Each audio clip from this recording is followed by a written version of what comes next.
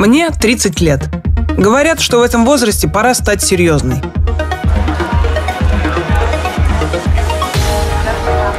Что нужно изо всех сил строить карьеру.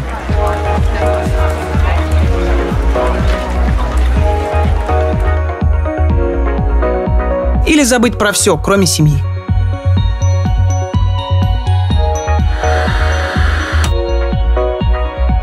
Ничего не имею против семьи карьеры. Говорят, пора одеваться по возрасту, а не в эти подростковые шмотки. И хватит уже снимать эти видео для соцсетей.